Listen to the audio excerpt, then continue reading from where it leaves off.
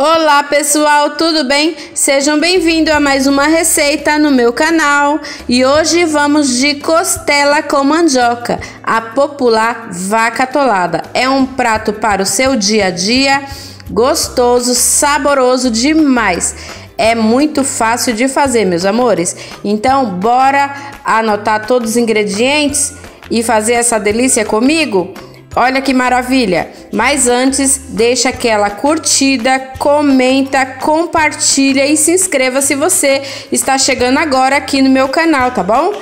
Então, bora anotar todos os ingredientes e vamos para o vídeo?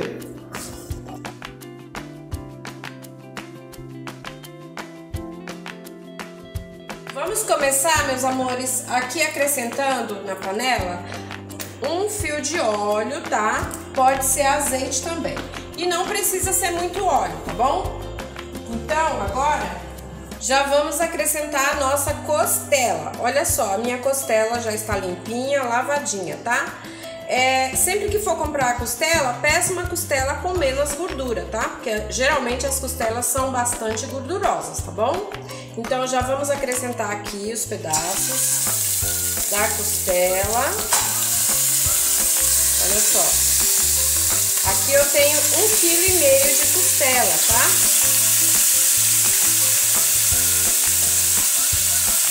Procure também fazer numa panela bem grande, tá? Maior que vocês tiverem aí, para poder caber todos os ingredientes aqui. Então agora vamos selar essa carne Tente selar bastante essa carne, tá? Antes de acrescentar os temperos, tá bom? Então, vamos selar. Bem seladinha.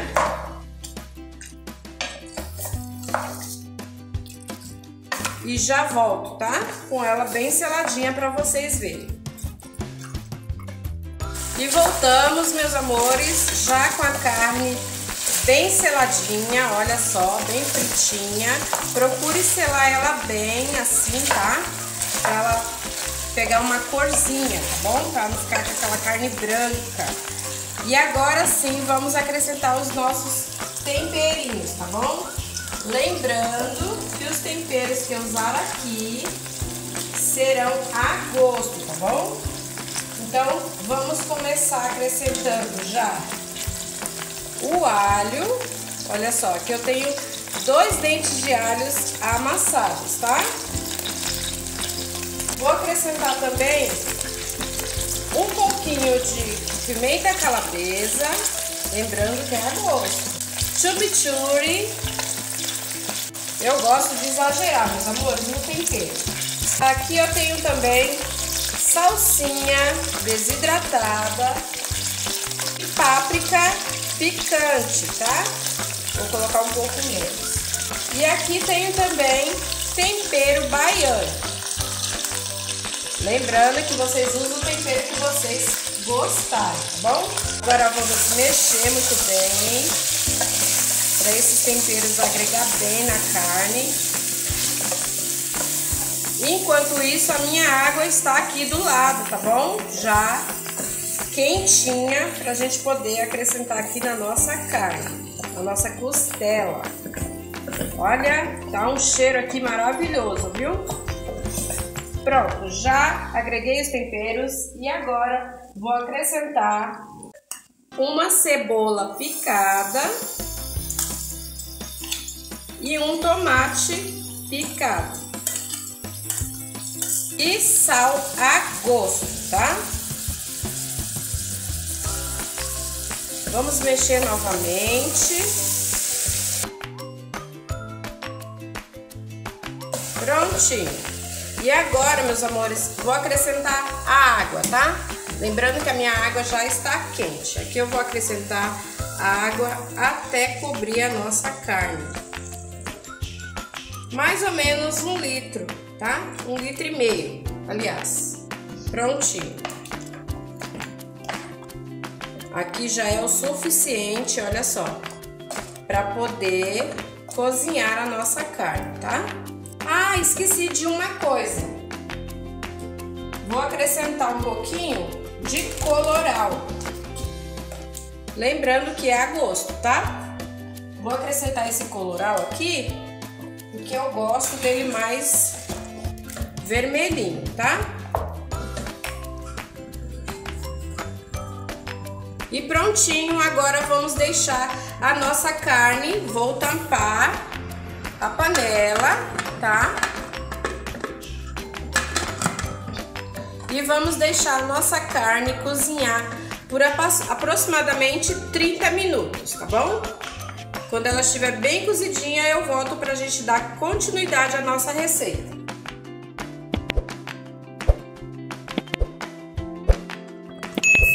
Prontinho, meus amores, já se passou a meia hora, os 30 minutos. E olha só, ainda não desliguei o fogo, tá? Mas a nossa costela já está no ponto para a gente poder acrescentar aqui a mandioca. Porque afinal de contas, é vaca atolada que nós estamos fazendo, não é mesmo? E olha só, essa gordura é normal, tá? Por isso tem que acrescentar pouco óleo ou pouco azeite, caso vocês prefiram também não precisa estar tá acrescentando, tá bom? Porque a nossa costela é bem gordurosa, tá vendo? E olha que a minha costela aqui, eu comprei ela sem muita gordura. E agora sim vou acrescentar a nossa mandioca. Olha só, aqui a minha mandioca já está cozida, tá? Cozida com água e sal. Mas lembrando, aqui ela não cozinhou muito, tá bom? Então, para agilizar aqui no processo do, da nossa vaca atolada, eu preferi cozinhar. Mas se vocês quiserem acrescentar ela crua aqui, não tem problema, vocês podem acrescentar crua também, tá bom? Aí no caso, se vocês quiserem colocar ela crua, vocês vão deixar ela um pouquinho mais para poder cozinhar.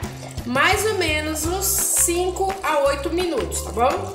Então eu vou acrescentar a minha mandioca já, Aqui no caso, como ela já está cozida, eu vou deixar aqui somente 5 minutinhos, tá?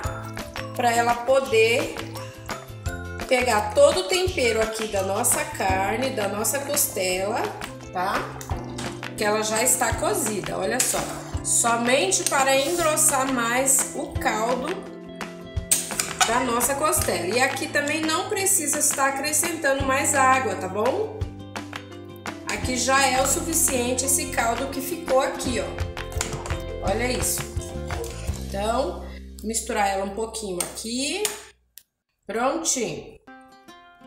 Aqui nessa fase aqui, vocês podem estar acrescentando um pouquinho de sal, se caso ficar sem sal, tá? Vocês podem estar é, verificando se ainda se falta sal. Aqui no caso da minha, eu vou acrescentar um pouquinho mais de sal, porque faltou um pouquinho de sal, tá? Para não ficar sem sal a nossa vaca atolada. Prontinho. Agora vou fechar a panela novamente e vou deixar ela cozinhar mais um pouquinho, somente cinco minutinhos, tá? Quando ela começar a chiar, a panela chiar aqui, eu vou contar três minutos, tá? Que é o tempo de cinco minutos total até ela pegar pressão. Então, quando ela começar a chiar, vou contar três minutos e já vou desligar a panela. E olha só, meus amores, a nossa vaca atolada já está prontíssima para servir, meus amores. Mas antes estou acrescentando aqui cheiro verde. E olha que maravilha de prato, meus amores, para o seu dia a dia. Delícia, não é mesmo? Quero ver quem aí vai fazer, hein? E vem aqui me contar se gostou. Então, espero que vocês tenham gostado da dica de hoje, do vídeo de hoje, da receita. Vou ficando por aqui com essa maravilha. Vou almoçar. Um beijo, fique com Deus e até o próximo vídeo. Tchau! Hum, que delícia! Olha, a mandioca está derretendo, a carne também se desmanchando. Olha isso, estou com água na boca. Hum, que maravilha. Deixa eu comer logo porque eu não estou aguentando mais. Hum.